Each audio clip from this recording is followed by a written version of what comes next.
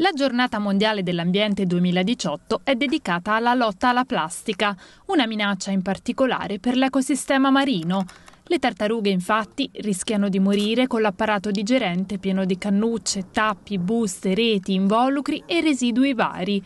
E in Kenya, a Watamu, c'è una clinica dove si cercano di curare decine di esemplari marini che hanno ingerito questi rifiuti. Le tartarughe che stanno male si riconoscono subito.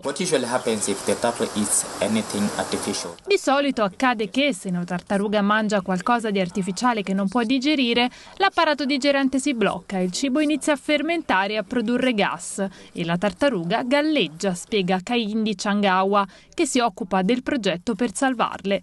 Secondo la World Wildlife Federation, ogni anno circa 9 milioni di tonnellate di plastica finiscono in mare. 80% of all the litter in the ocean is plastic. L'80% dei rifiuti in mare sono costituiti da plastica, dice Lisa Svensson, direttrice dell'agenzia ONU che si occupa di oceani. E la plastica è un problema enorme. Dal 60 ad oggi si produce plastica 20 volte in più.